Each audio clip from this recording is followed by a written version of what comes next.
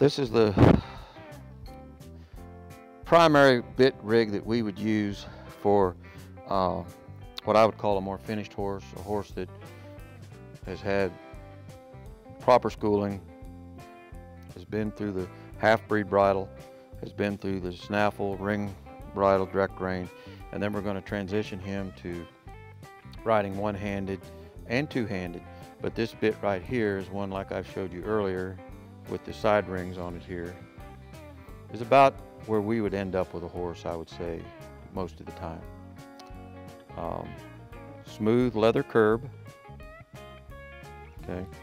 I want to adjust this curb under his jaw where I can get two fingers between his jaw and that curb. I want this bit to travel two-thirds of its sweep until that curb engages itself. So the first two-thirds of this contact signal, I want it to be in the corners of his mouth and his tongue. That's what he's working off of. And then the last third, that curb is going to engage and you're going to work off the bars of his jaw, the jawbone, okay?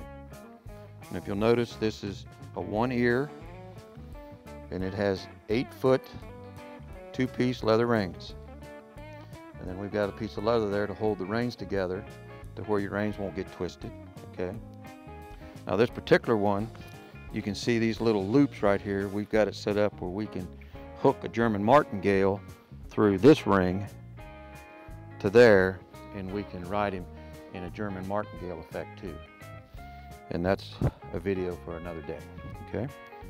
So this would be a this would be a horse that you have suppled and prepared and schooled and is ready to be ridden in a rig like this. So you got to use the other rigs first and really have that horse where he's flexing his jaw and he's supple and he's very responsive to your signal.